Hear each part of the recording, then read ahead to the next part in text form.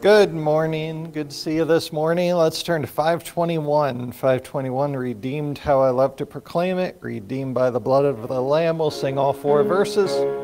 521.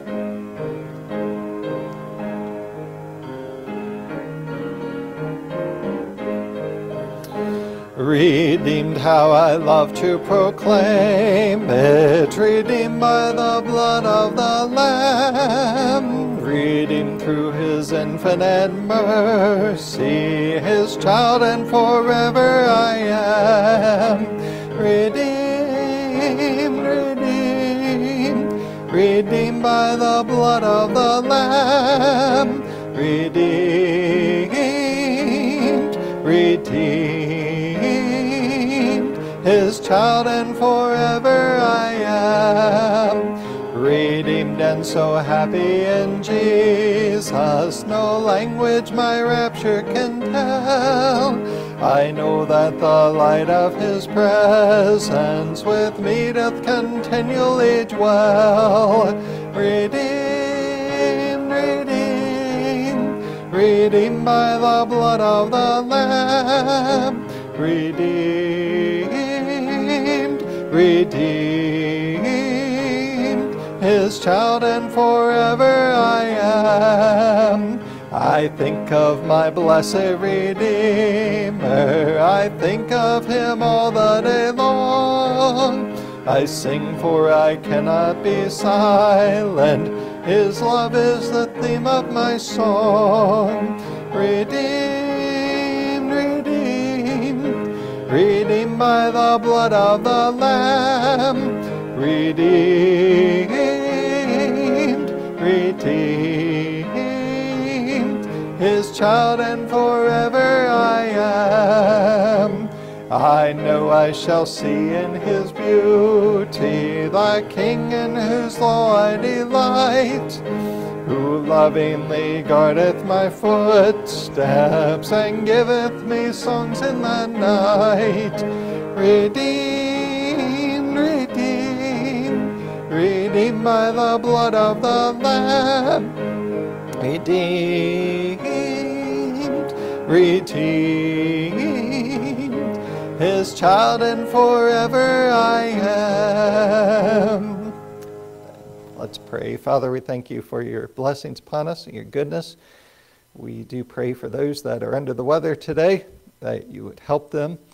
And we pray that you'd help us as we consider the word. We're thankful for the internet where we can stream and whatnot, and people can join us virtually. And we're thankful for those that could be here physically. And we do thank you as we uh, can't help but think of a couple years ago when we were forced to stream only. We thank you that we don't have to do that anymore and that we can meet together and encourage one another and pray as church. We just thank you. We pray be pleased with all that's said and done here today, and that you'd work on our hearts and that we'd apply what you have for us this week. Well, thank you. We pray in Jesus' name. Amen. Turn to 204, if you would please. Rock of Ages. 204. We'll sing all the verses. 204, all four verses, Rock of Ages. Rock of Ages, clap for me. Let me hide myself in thee. Let the water and the blood from thy riven side which flowed be of sin the double cure. Cleanse me from its guilt and power. Not the labors of my hands can fulfill thy law's demands. Could my zeal no respite know? Could my tears forever flow? All for sin could not atone. Thou must save, and thou alone. Nothing in my hand I bring, simply to thy cross I cling. naked come to thee for dress, helpless look to thee for grace. Fell I to the fountain fly, wash me, Savior, or I die. While I draw this fleeting breath, when my eyes shall close in death, when I soar to worlds unknown, see thee on thy judgment throne, rock of ages cleft for me, let me hide myself in thee. Amen. Take your bulletin if you would please. And if you don't have one, Phoebe's got them back there. Please just raise your hand and let her know.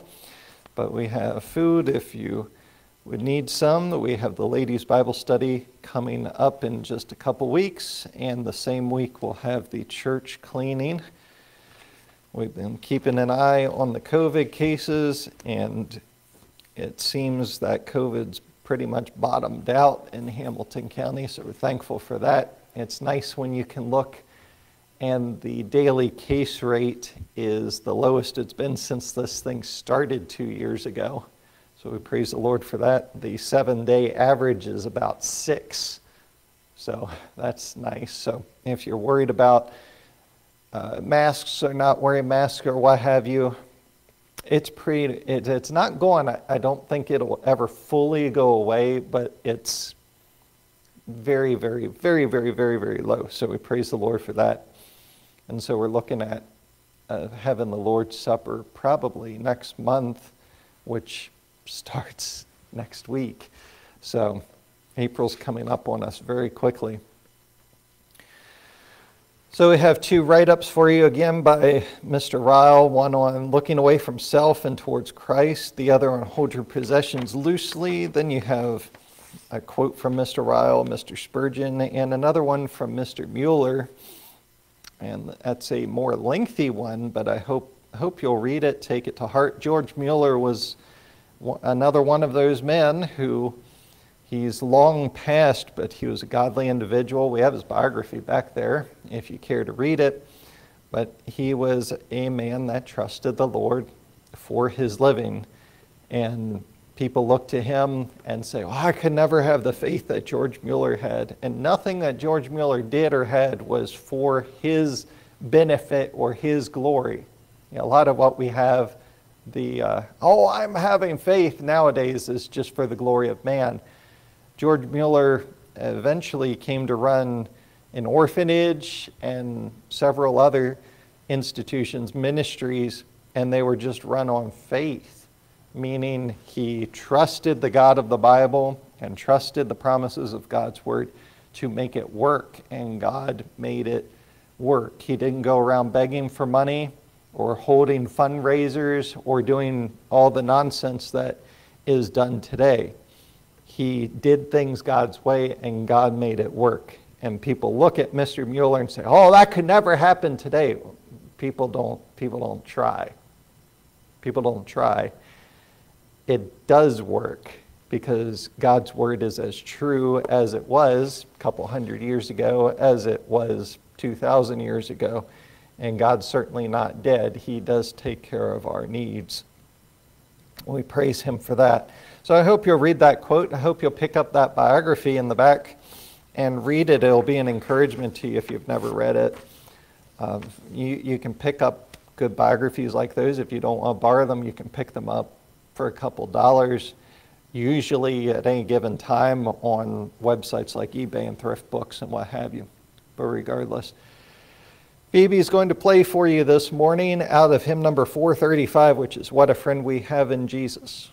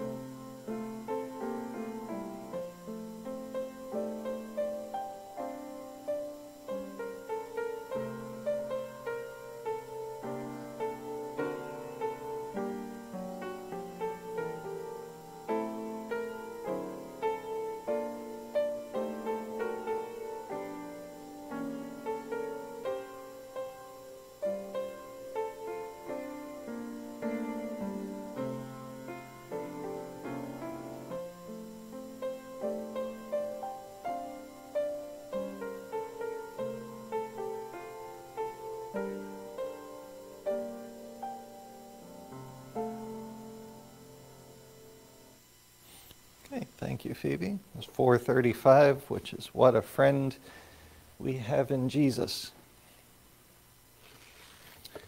Okay, turn in your Bible to 1 Corinthians 13, if you would. We'll continue our study on godly love. And it seems that we're wrapping this up. I can't see there being any more than one or two more services on this unless we really get hung up on something. But when you run into verse number 7 all the way down to verse number 12, you have a summary, really, of what Paul is trying to say under inspiration of the Spirit of God. You have verses number uh, 4 through 6 really defining what it is, verses 1 and 13 giving the introduction and conclusion, basic, or 1 through 3 and 13, giving the introduction and the conclusion, basically saying the same things about godly love. And so let's look at that. Though I speak with the tongues of men and of angels, verse 1, 1 Corinthians 13, and have not charity, I am become as sounding brass or a tinkling cymbal.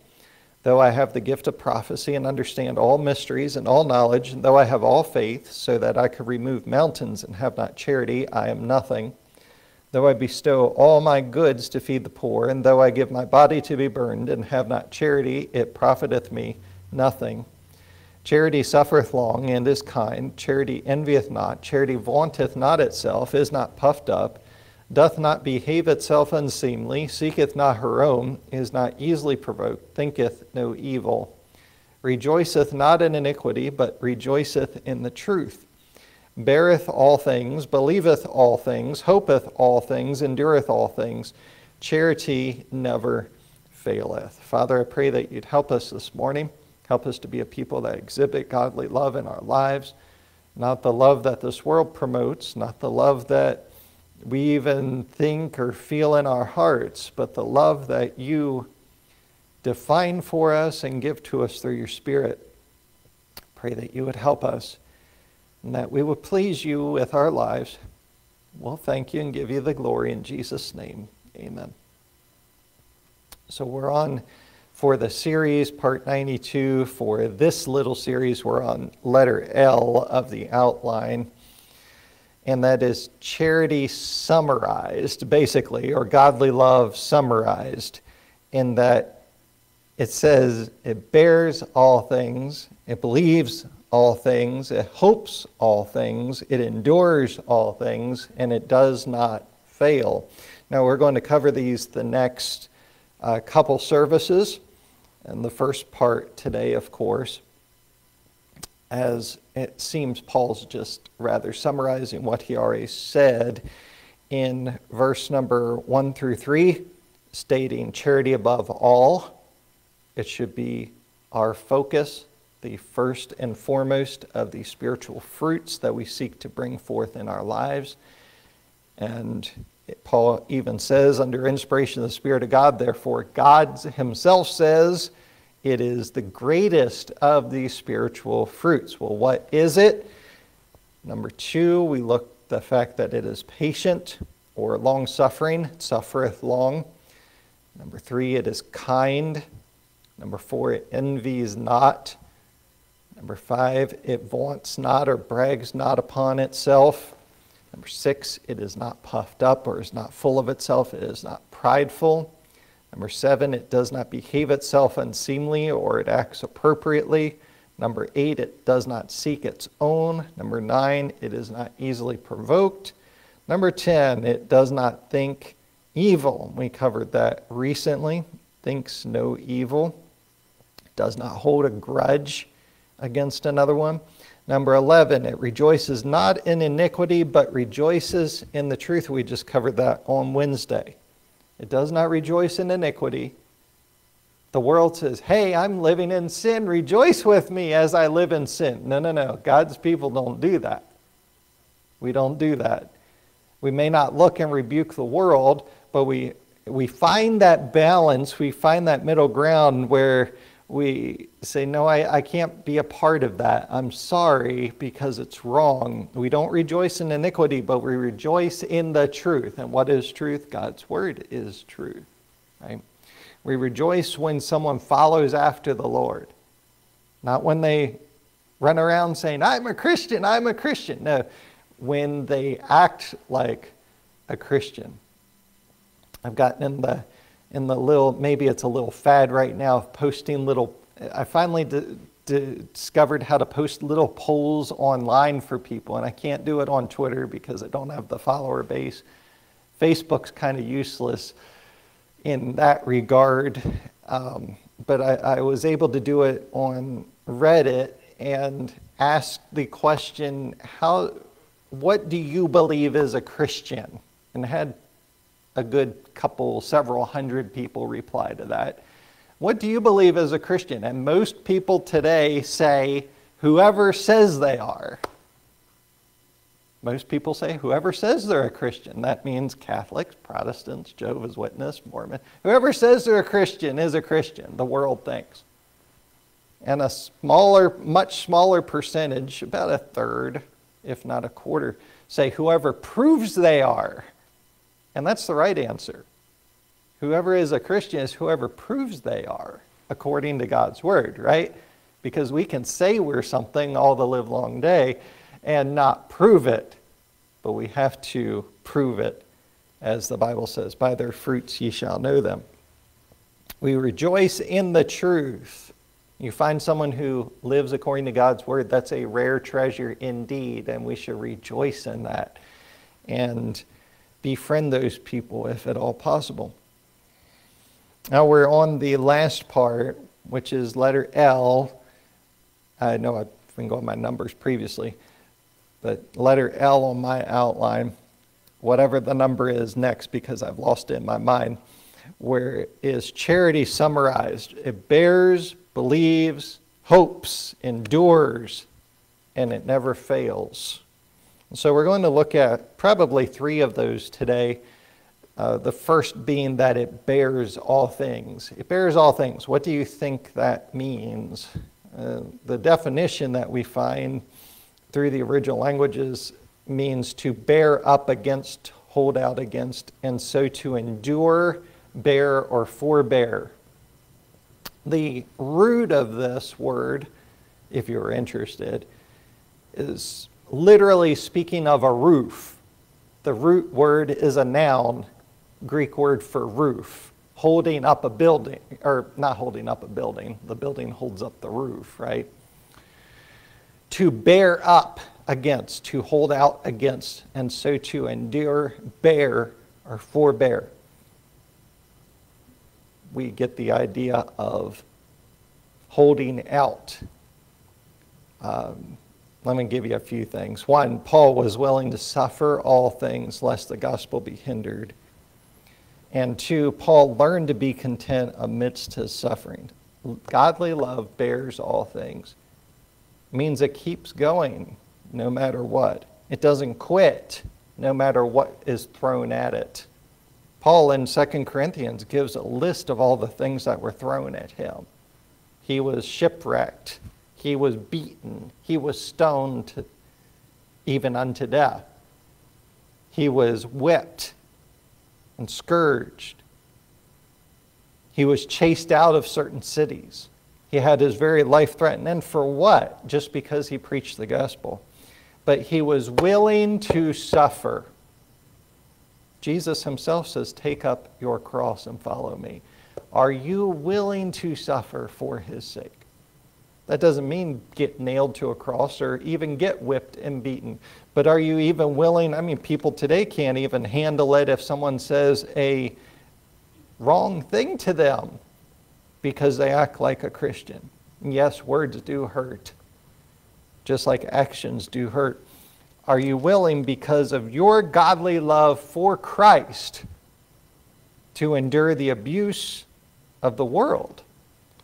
Are you willing to endure the, endured the abuse of your family and friends and what have you. 1 Corinthians 9, verse number 3, Paul says he's willing to suffer all things lest the gospel be hindered. Why don't we do certain things and why do we do others? Why is there a line of separation? Why is there a standard that we live by, which is to be the Word of God, and not be the Word of God? Why do we hold to that and not just do whatever we want? Because doing whatever we want mars the name of Christ holding to God's word, just like George Mueller did and plenty of others before him by God's grace. It involves some suffering, it involves endurance. That's why the Christian walk is likened unto running a race. You know, run the race that's set before us. Run, uh, 2 Timothy 2 talks about running for mastery, you know, running according to the rules and what have you. Well, Paul's talking about in 1 Corinthians 9 enduring all things for the gospel, so the gospel not be hindered, so the name of Christ is not dragged through the mud. 1 Corinthians 9 says, Mine answer to them that do examine me is this. Paul had his critics. He had those that nitpicked at him. He had those that dragged his name through the mud and marred, tried to mar his testimony before others. And Paul's addressing that and says, My answer to them that examine me is this Have we not power to eat and to drink? Have we not power to lead about a sister or wife as well as other apostles? And as the brethren of the Lord and Cephas? Or I only and Barnabas, have not we power to forbear working? Paul's just explaining to these people that would criticize him and say, Well, Paul, he, he doesn't uh, do anything but take money from people and this, that, and the other. And Paul says, listen, guys, aren't we human beings?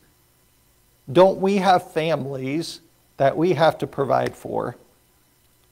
Don't we have the need to eat and drink because we're human, right? We need food and water. He says, Who goeth a warfare, in verse 7, anytime at his own charges? Who goeth a warfare any time at his own charges? You don't go to war and pay for it yourself. The government pays for it for you, right? The government says, hey, we're going to war, and looks at you and me and says, hey, you're fighting in this war. We look expectantly and say, okay, are you going to provide the helmet? Are you going to provide the armor? Are you going to provide the weapons? And they, of course, would. Who goeth a warfare any time at his own charges? who planteth a vineyard and eateth not of the fruit thereof? Or who feedeth a flock and eateth not of the milk of the flock? I mean, we all expect if we do the work, we get to partake of the work. And Paul says, Say I these things as a man, or saith not the law the same also? For it is written in the law of Moses, Thou shalt not muzzle the mouth of the ox that treadeth out the corn.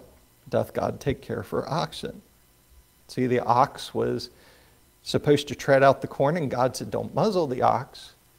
Let the ox eat his fill because he's doing work. If you work, you should eat, right? So, or saith he it altogether for our sakes, for our sakes, no doubt.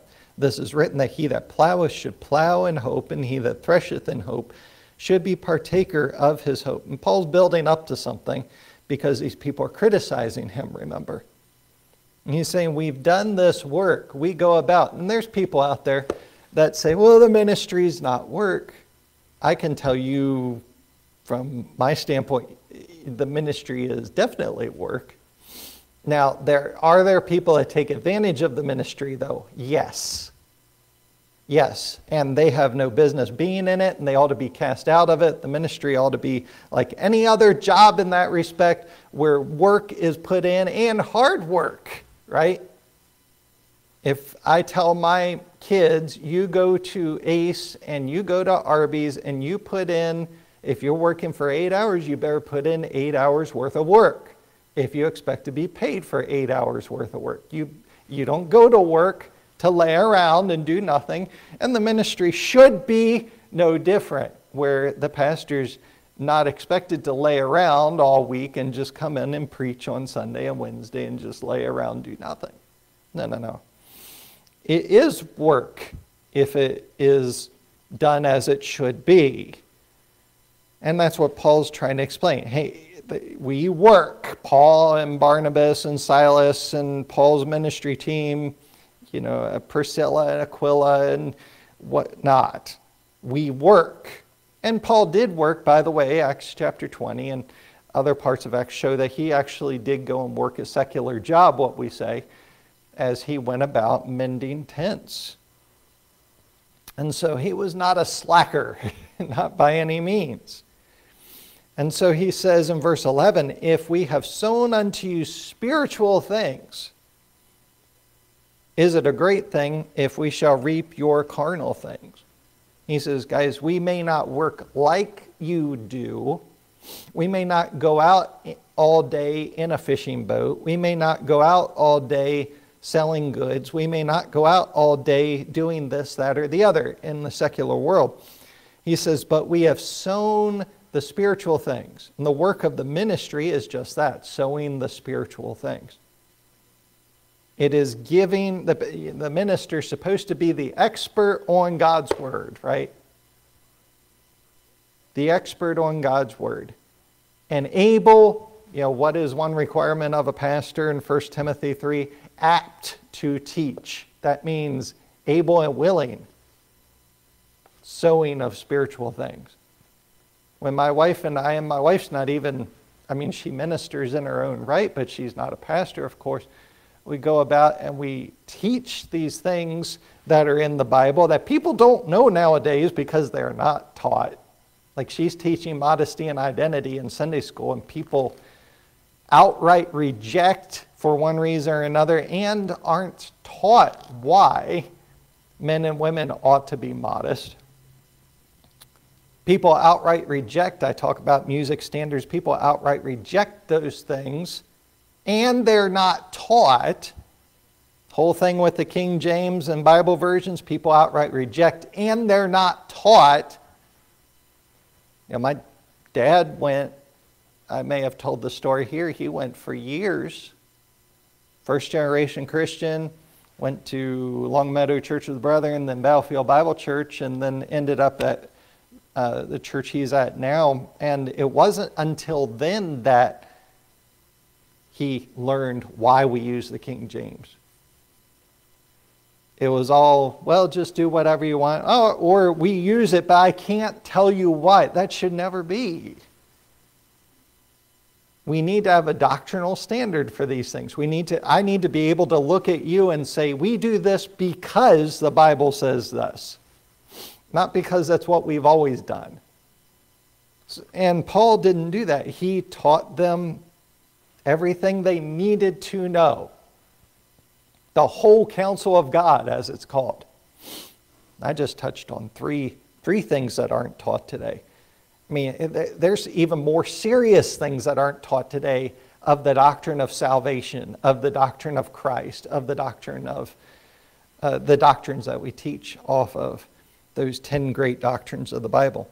So Paul says, If we've sown unto you spiritual things, is it a great thing if we shall reap your carnal things? He says, I've, I've given you the gospel, I've given you this, that, or the other, and all I want to do is be able to keep doing that and keep going about starting churches. So why the big, he's, why the big deal? What's the big problem? And of course, the big problem is that the devil gets in people's hearts and minds, and people start to nitpick that want nothing to do with God's word. But he's trying to reason with them and says, if others be partakers of this power over you, so there, there's other people that were partakers of this power, as it were, and they would go about like they do today, and they would beg for money, and they're on your TV sets, and they show up in your mailbox, right? And I know they do because they show up here all the time asking for money. Sometimes they show up on your doorstep. Would you support us? Would you support us? Would you support us? And, you know, people, people do that sort of thing. Um, and then generally, the, there's others that suffer for it, but that's not what this sermon is about. If others be partakers of this power, Paul says, are not we rather? Nevertheless, we have not used this power. We have not used this power. Paul says, in other words, I've not stood up and said, hey guys, I need money. Hey guys, I need your support. Hey guys, I need your help.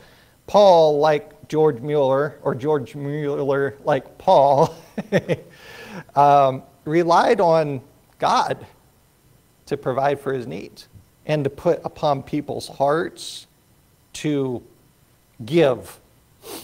He never stood, they never stood up and said, hey guys, I need this. Why? Because they believed, and I agree with them, they believed it would be a bad testimony. We see so much of that today, don't we? Everybody's asking for money nowadays. Everybody's asking for money. Uh, many people, for no good reason, I know of, of ministers that, hey, I need help funding my book. I need help funding this project I'm working on or that project. What, what did, uh, when did we lose our faith that if God wants it to happen, it'll happen? When did we stop believing spend within your means? Well, we stopped believing that when we started being given over to our flesh and said, Well, I believe God wants me to build a bigger church building or to start this random ministry that's going to cost more money for the church and the church doesn't have it. I believe it, and thus it must be right. I just read that in 1 Chronicles 22, I think, where David wanted to build that great temple. I talked about it on Wednesday night. When David wanted to build that temple to the Lord and God was dwelling in the tents of the tabernacle, and God said, Hey, if I wanted, if it bothered me to dwell in the tents of the tabernacle, wouldn't I say something? You have Nathan saying, Oh, yeah, just do whatever, David. Your heart's in the right place, it'll be fine. And God said, No, no, no, no, no, no. That's not what I want. Just because we feel something doesn't mean God wants it. But did you know that's how I grew up believing? You may be well, and I may be well meaning, but just because it's a desire on our heart doesn't mean it's God given. And we can pretty much know if it's outside of the price range, we don't have the money to do it, mm, probably not God's will. If God wants it to happen, He will make it work. I've even seen that. I could tell you stories about that. Paul refused to live with the fundraising mentality. He re- believed it marred the ministry of the gospel. And it has today, hasn't it? How many people sit back and say, oh, he's just all about money? Ah, there he goes, asking for money again, right? It happens happens, especially in the mega churches. It was all the time at our college that we went to. All the time, wasn't it, dear? Just because they felt they needed to purchase property or they needed to build buildings and what have you. Regardless, Paul says, We have not used this power, but suffer all things. That word suffer is the same word that we're talking about to bear. Paul says, I would rather sit under the burden. I would rather suffer and endure, if you will, not having enough instead of going to you and begging for money and it hurt the ministry of the gospel. That's why he says, lest we should hinder the gospel of Christ. And I would say emphatically, the gospel has been greatly hindered because our country's full of churches that are just all about themselves, right? Do ye not know, Paul says, that they which minister about holy things live of the things of the temple? Now he goes into the law and he starts to compare, and there's a lot of comparisons I've learned over the years if you want to look for yourself between the Levitical priesthood and being a New Testament minister, there's a lot of comparisons. There's a lot of differences too, but there's a lot of good things to learn from it. And this is one. that they which minister about holy things live of the things of the temple, and they which wait at the altar are partakers with the altar. What's it talking about?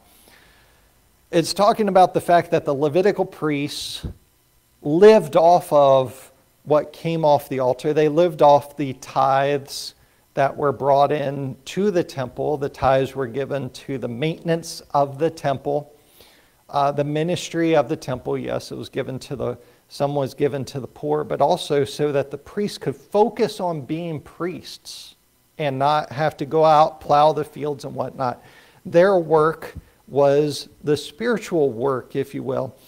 And even their food came off the tithes and from the sacrifices. If you read in the law, Uh, it wasn't, uh, that meat wasn't wasted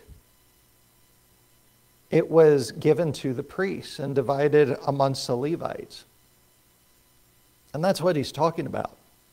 They which wait at the altar are partakers with the altar. You say, well, where did the, the priest's food come from? Came right from there. Not to demean the sacrifices, but they were barbecuing all day, every day, weren't they? It's what they were doing. And so it says, even so, there's a very practical use, is my point. It says, even so hath the Lord ordained that they which preach the gospel should live of the gospel. But I've used, Paul says, none of these things.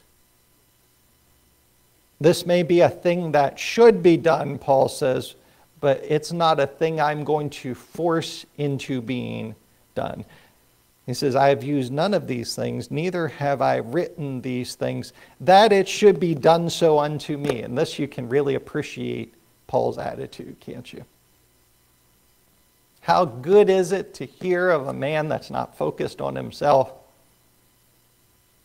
where he says, I'm not telling you this so that you can do it to me. I'm not telling you this to bully you. I'm not telling you this to make you feel guilty about not doing what you should have. I'm just telling you what God's word says. How good is that? And he does that several times in his writings where he says, Guys, I don't want to say this about myself. I don't want this to be all about Paul. I want it to be all about Christ.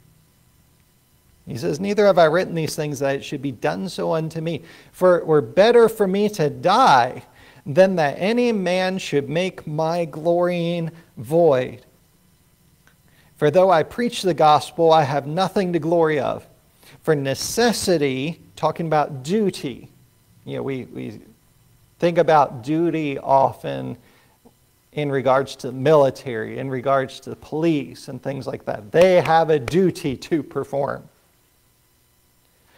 Well, the God following, God honoring minister believes it's his duty to do what he does because it's God's calling.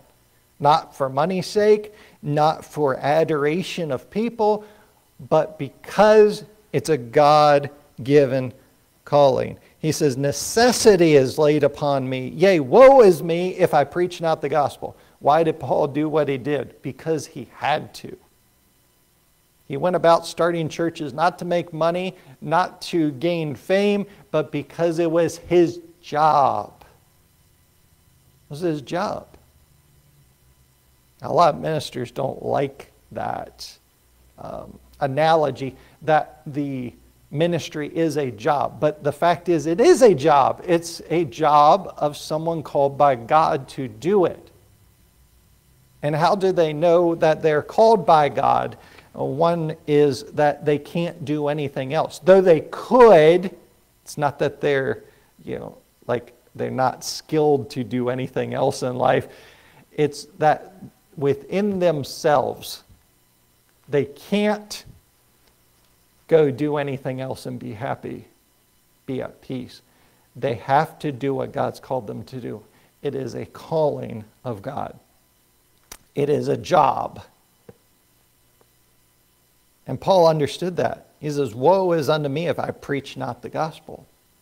Just like Jimmy's job, woe unto me if I don't go to Arby's and work in the drive through. And Phoebe, woe unto me if I don't go to Ace and make sure that home decor is just spick and span, right? It's the job. You say, well, God's called them to do that as much as anyone else. Sure, yeah. Woe unto Andrea if she doesn't do school to the best of her ability. And Jimmy, and anyone else. It's a job, it's a calling. I know we haven't been taught to think that way, but we ought to think that way. Paul says, For if I do this thing willingly, I have a reward. But if against my will a dispensation of the gospel is committed unto me, what is my reward then? Verily, that when I preach the gospel, I may make the gospel of Christ without charge, that I abuse not my power in the gospel that no one from the outside can look in and say, I just in it for the money. I don't need to believe in his Jesus because he's just in it for the money. I don't need to believe God's word because look at all the creeps and all the, you know, that are in that work, doing that work. They're just in it for money or power or fame or to abuse people or whatever. Now, Paul says one of his rewards is that he preached the gospel knowing that if anyone doesn't believe it, it's on them because pretty much he's right with God. No one can say, oh, he's just he's just all the time asking for money. As people do. He's willing to suffer all things lest the gospel be hindered. And that's the way it ought to be, by the way. That's the way it ought to be. He had the ability, it's not that he didn't have the ability to ask for money or to do certain things, use his quote unquote power, but he refused to. Um, rather akin to the statement that goes around in the world just because you can doesn't mean you should, right? Just because you can doesn't mean you should. Well, how do we know what we should and shouldn't do as Christians? God's Word tells us. Tells us. Number two, or letter B, Paul learned to be content amidst his sufferings. Paul learned to be content.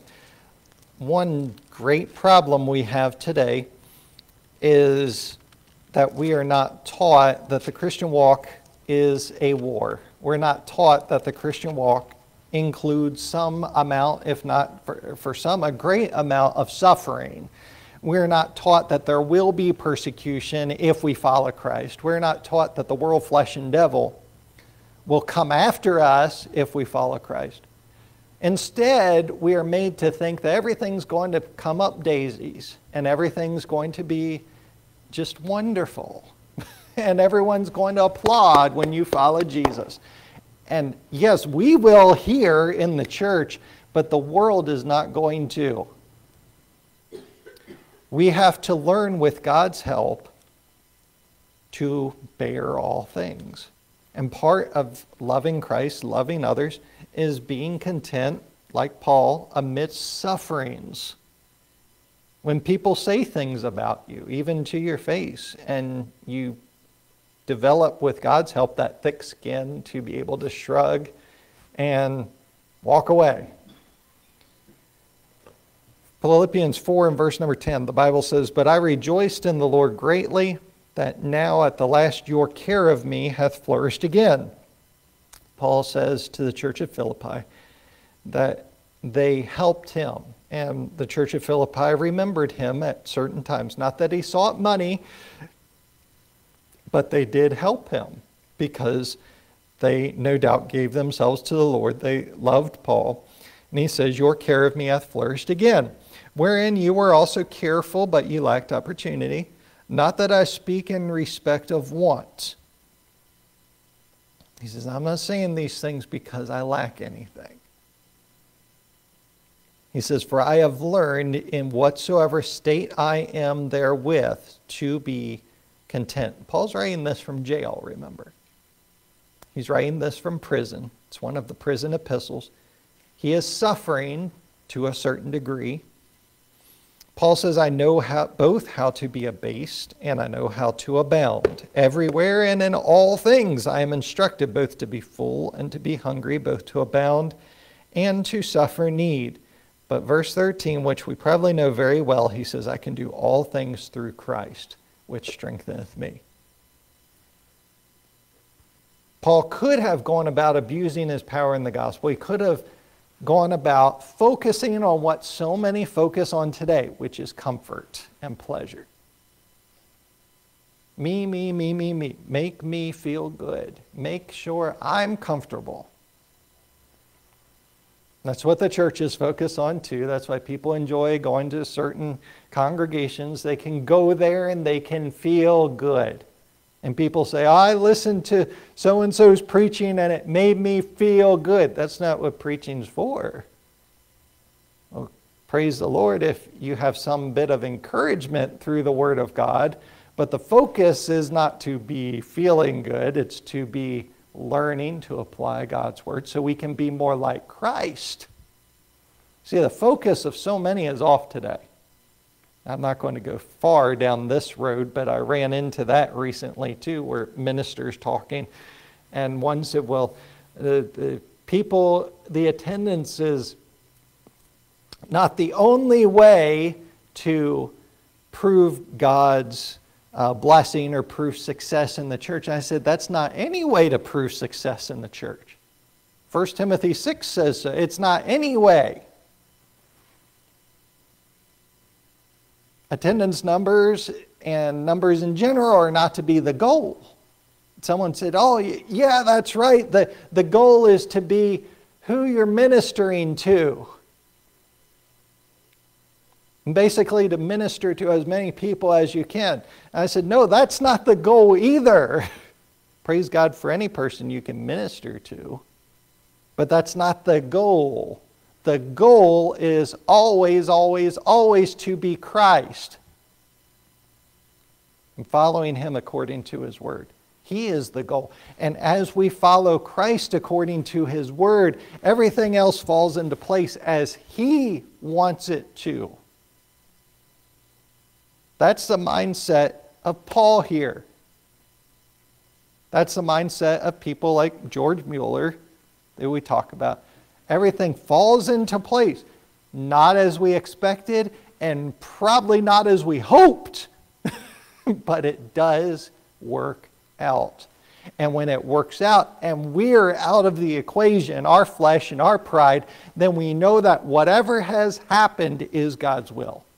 Whatever has happened is what God wants to have happen, whether it's good, bad, or ugly. It's done for His purposes to make us more like Christ. It's done for His glory. That's what Paul's saying here. I'm not going about whining that I'm in prison and whoa, Paul, he's in prison again. He's not going about whining that he doesn't have food or whining that he doesn't have clothing. He's going about whining for money, whining that he's uncomfortable. He says, I can do all things. How? Through Christ, which strengtheneth me. I can do all things through Christ, which strengtheneth me. It bears all things. The world says, I can't take it anymore. I'll be honest with you, folks, there's been many times the past 10 whatever years, even before that, where I've said, I can't take it anymore. And my wife here, I would say recently, but not recently within the last couple weeks, but within the last several months, she said, Fine, quit. And I say, I can't. because of Christ, not because I'm some great individual of faith. The world says, I can't take it anymore. That's why people get divorces. That's why people abandon their families. That's why people jump from church to church to church. That's why people jump from job to job to job. and people abandon. They think the next one's going to be better, the next marriage, the next job, the next position, the next church. And you know, sometimes, sometimes it's needed, of course, but that's the exception, not the rule. It's the habit today of the world to jump from place to place, person to person, instead of dedicating themselves. The world says, I can't take it anymore. They, they use their suffering or supposed suffering. Yeah, most of what people call suffering isn't, right? It's just an excuse. And they use as an excuse to abandon their posts. And there's none of this with the believer that brings forth godly love in their lives. There is no, I can't take it anymore. There is, I can do all things through Christ, which strengtheneth me. Oh, we may feel it, we can even say it, but we have to go back to Philippians 4. I can do all things through Christ. I can do all things through Christ. And it's not all things whatsoever we can contrive in our minds or feel in our hearts. It's whatever is God's will. We can do that. We can do that with His help for His glory, right? Godly love bears all things. Number two, this will be about as far as we get probably today. It believes all things. Now, what it's not saying, and what it's very easy to assume here, is that it's saying that godly love just believes whatever it hears. and that's not, that's not what it's saying at all. It does mean to think to be true and to trust in, but it's not a blind trust. You and I need to have discernment godly discernment, not bad discernment, but godly discernment about our lives. The ability to tell right from wrong. So there's, again, you have this balance. It's not a blind trust, but it is giving individuals the benefit of the doubt when the context deems it to be prudent. The only person we can blindly trust is who? Jesus Christ. Right? anything he says in his word, anything God puts forth in his word. We can blindly trust in Christ. He's that's that's why we're here, you know. And we know he will never do us any wrong. We worship him, we follow him, we believe in him. Yes, by faith, not by sight. But understand two things. One, godly love does not destroy prudence. Godly love does not destroy prudence. Look at Proverbs chapter 14 and verse number 15. Now, to every aspect of something that we study, especially here today, there is work that needs to be done, isn't there? There is a part where the world does not line up with it. And the world wants to say, oh, just believe everything. Everybody has your best interests at heart. And the world itself knows that's not true. But they want you to be a person that blindly believes whatever because they want your blind allegiance, your blind following, you to be just this individual that doesn't think. And by the way, there's plenty of ministers like that too. Oh, you don't need to read your Bible. That's why the Catholic Church hated the English Bible coming out and especially hundreds of years ago, because they didn't want the commoner to be able to read it for themselves. The Catholic Church knew that when the common man would be able to read the Bible for themselves, they would read it and start to say, well, what that guy is saying and what this is saying don't line up because Catholic doctrine, Catholic dogma is not Bible doctrine the Catholics pick and choose what they want, just like the best of them, and that's all they would promote. But regardless, we have to be a thinking people, a thinking people. So godly love does not destroy prudence. Proverbs 14, verse number 15, the Bible says, The simple believeth every word. Remember, there's four different individuals in the book of Proverbs. There's the wise individual. The wise individual is those that hold to God's word. They believe it, right? They study to follow it. There's the simple. The simple are what we call ignorant. Ignorant's not a bad word, it just means you don't know. there's plenty of things in life I don't know that I'm ignorant in, right? That's what simple means. But we shouldn't be simple individuals that are not only unlearned or ignorant, but that believe whatever we hear. The wise will go and be as those Bereans in the book of Acts. That what they hear, they would search the scriptures to see if it was true. Then you have, of course, the fools. The fools are those that reject God's word. And the scorners are those fools that not only reject God's word, but seek to recruit others to also reject God's word. So you have those four. And so you have the simple. The simple just believe whatever. It says, The simple believeth every word, but the prudent man looketh well to his going.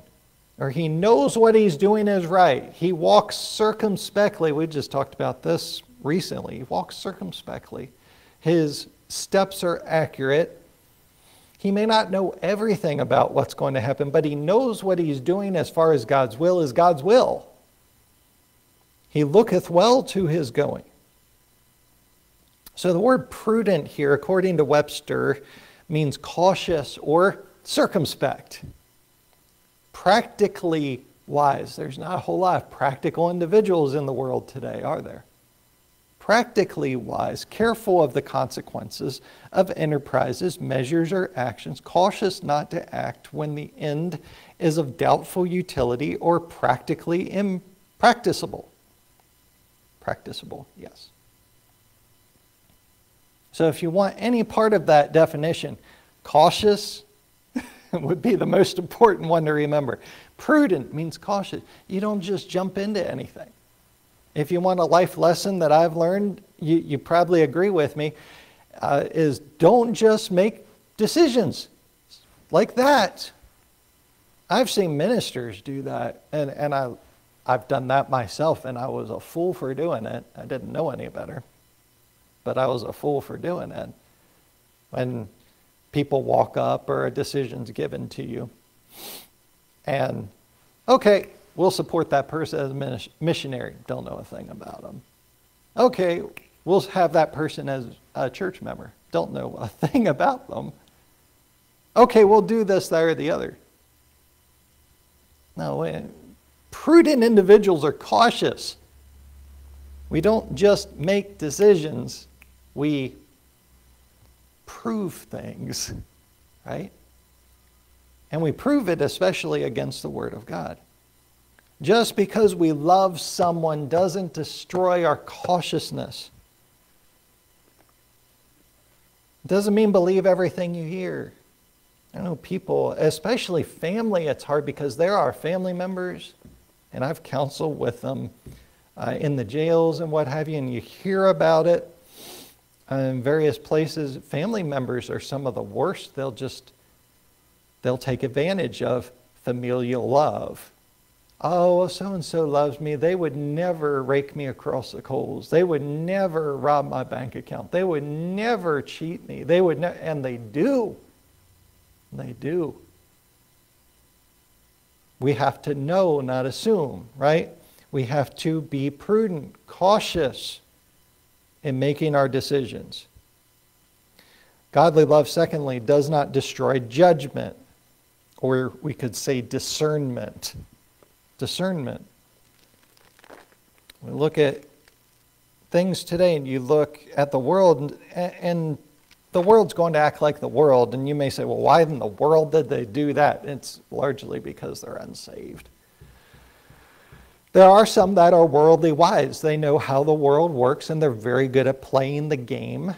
And so they've made themselves money, right? And, and things like that. that. That's fine. But there's plenty of others, plenty of others. I, I saw one who said, um, for instance, with the stock market, I would never recommend that you play the stock market because that's a, exactly what it is playing, gambling stock market's just how, how people with money gamble as opposed to the lottery, which is how people who don't have money gamble, right?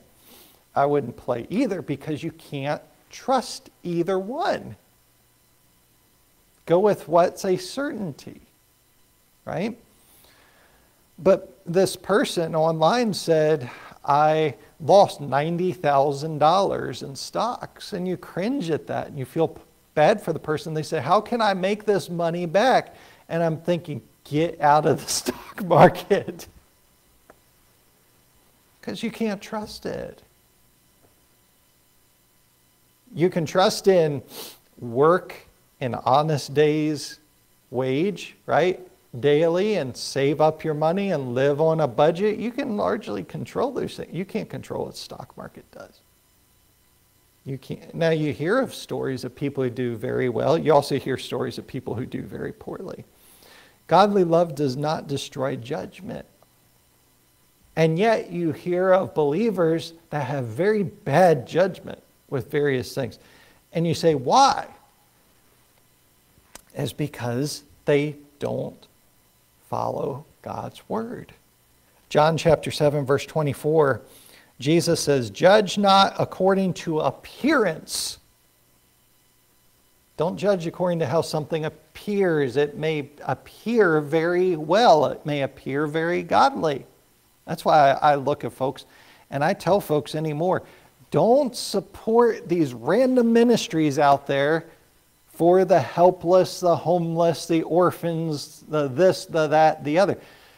It doesn't matter how long you've supported them, it doesn't matter what they are.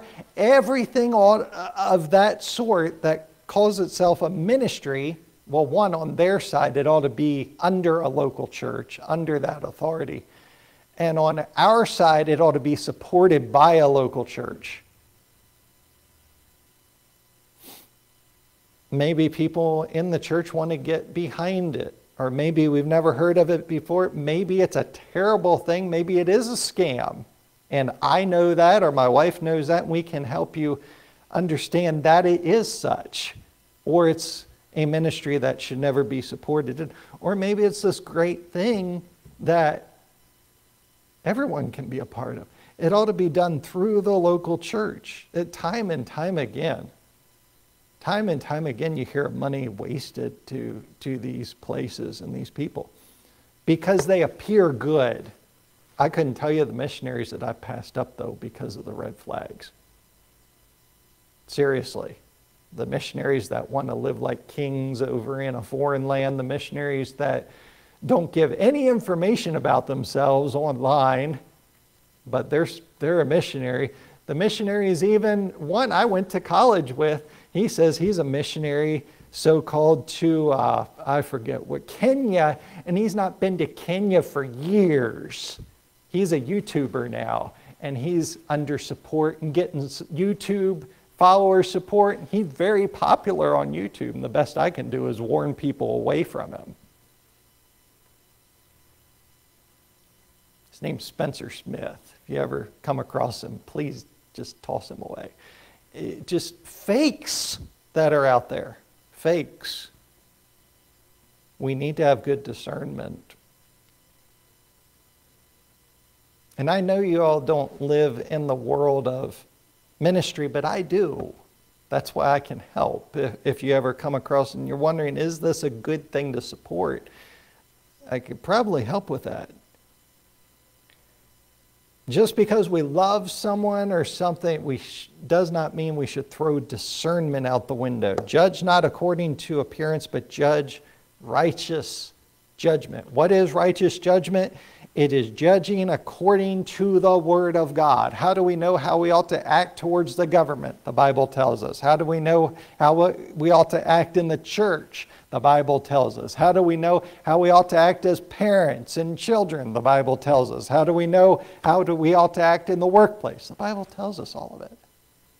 How to make business decisions. What do we ought to do with our money? What we ought to do with our goods. It's not put it on the stock market or even give it all to the church. There are, there are preachers that preach give your inheritance, not to your family, but to the churches. And they're, they're wrong. oh my. Don't they, dear? Oh, yeah, I've heard that preaching. Pastors focusing on, on you getting the church into your will. That's ridiculous. That's ridiculous. I don't care about your money. I care about you following Jesus. Please follow Jesus. please. And that's how we know what God wants, as the Bible tells us. Godly love does not destroy judgment. If there's one thing that the world and carnal churches or ministers hate, it's a thinking individual. It's a person that will hear even what you're hearing today and compare it to Scripture. They hate that because they want the control. And some part of them knows they're doing wrong. I have to, I have to imagine, maybe they're completely deluded, I don't know. But some part of them has to know that what they're doing is wrong. Like Joel Osteen and Joyce Meyer and all that crowd. They have to know that what they're doing is wrong. Maybe they don't. Maybe they're just fully deluded. Godly love believes all things. I'll read two things and we'll be done. One, Matthew Henry says this. Matthew Henry and John Calvin give commentary on this. I, I think it's very good. Matthew Henry says, Indeed, charity does by no means destroy prudence. And out of mere simplicity and silliness, believe every word. I have to say this because um, there's plenty of people that will say, Oh, it believes all things. That means it just believes the best of everybody. No, no, no. Does not, but out of mere simplicity and silliness, believe every word. Wisdom may dwell with love, and charity be cautious but it is apt to believe well of all, to entertain a good opinion of them when there is no appearance to the contrary. Meaning, if I don't know Jimmy and people say he's a good guy, then I don't come up to him and thinking, oh, he's a bad guy.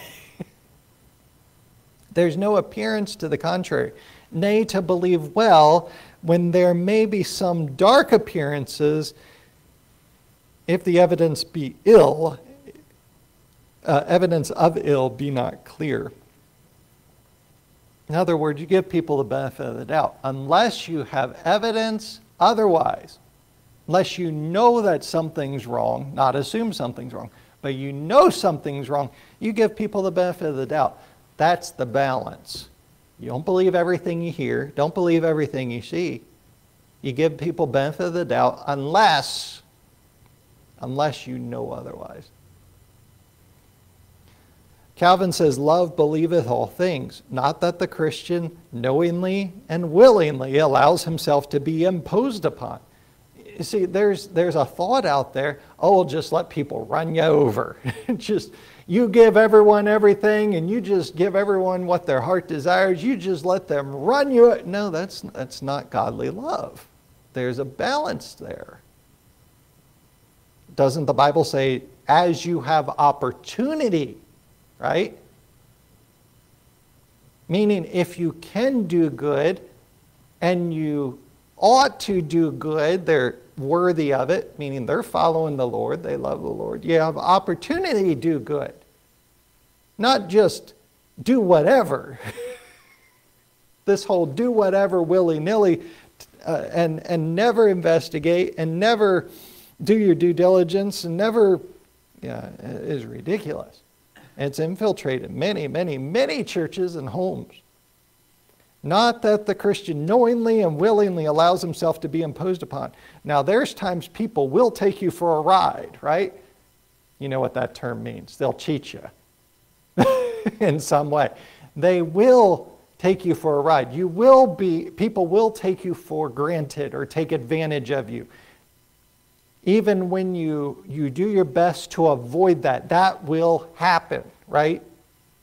Understand being a nice person, being a nice person means that you are setting yourself up to be hurt a lot in life. Understand that because it's just the truth. Following Christ sets you up for that. But we go into it, that doesn't mean shut down and close in on yourself and never help anyone. No. It just means do your due diligence. And if you get hurt, understand that just goes with the territory. There are people, there are people that will do that. But we don't knowingly and willingly allow ourselves to be imposed upon. It says, Love believeth all things, not that he divests himself of prudence and judgment. right? We don't cast those things away, as we just looked at, that he may be the more easily taken advantage of. Not that he unlearns the way of distinguishing black and white. there is right and wrong. Who are those we ought to help? The Bible says, focus on helping those believers that are following Christ. Not Joe, what's his face, out there just doing whatever, not Joe in our family just doing whatever, but those that are following Christ, those brethren. The Bible says over and over again. We don't unlearn the way of distinguishing black from white. Well, what then? He requires here, Calvin says, as I've already said, simplicity and kindness in judging of things, and he declares those are invariable accompaniments of love. Just very similar to what Matthew Henry said. And commentators aren't always right, okay? But sometimes they do say some very good things that I can't say any better, which is why I'm reading it for you. So, charity, godly love, bears all things. If you say you're a Christian, which everyone here this morning says they are and has fruit thereof, it bears all things. We have godly love in our lives. It means we're going to go through the wringer at times. We're going to suffer, but God will help us through that suffering. There's many other passages that I alluded to that speak of that. And we have to learn to be willing to suffer if it's required of us, willing to bear these sufferings, lest the gospel be hindered, and learn to be content in the midst of them so that the gospel's not hindered, right? Not say with the world, I just can't take it anymore, so I'm going to run to place or person XYZ. No, we say, by God's grace, He'll help us to make it through because we trust Him. And it not only bears all things, but believes all things. It doesn't destroy our prudence or our judgment, doesn't destroy our discernment, but it gives people in the right context the benefit of the doubt instead of being constantly, and I have to fight against this, constantly skeptical of individuals constantly skeptical of individuals. When there's no reason to be skeptical, we're not. But for when there's good evidence. Father, I pray that you would help us today and that we would please you. Help us to, again, be a people of godly love.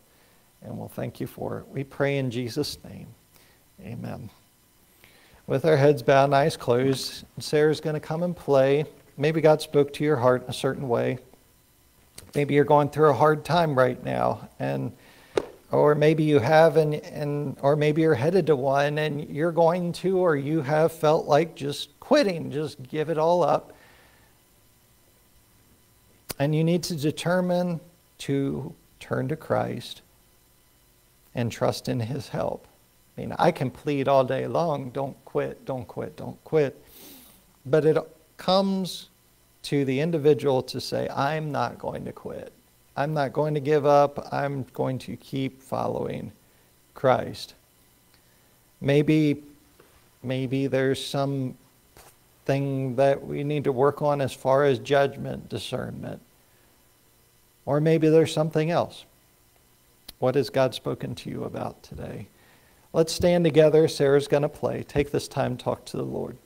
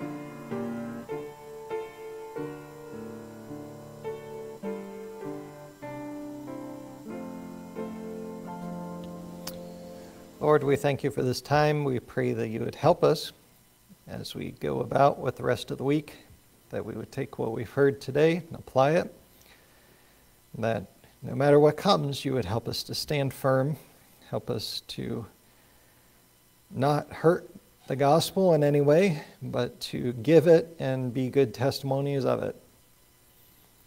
Thank you for your goodness to us. Thank you for Jesus most of all. Came, died for us, rose from the dead so we could be saved and live in a way that pleases you. We thank you and give you the glory. We pray in Jesus' name. Amen. Turn to 349 if you would please. Trust and obey. We'll sing the first verse. 349 Trust and obey. Verse 1. When we walk with the Lord in the light of His Word, what a glory He sheds on our way. While we do His good will, He abides with us still, and with all who will trust and obey. Trust and obey, for there's no other way to be happy in Jesus but to trust and obey. God bless you for being here this morning. Please do uh, pray for those that are out sick. Heather's got a headache and whatnot, so please do pray for those. And we Hope you have a good week, and we'll see you Wednesday at 7 o'clock, Lord willing. God bless you.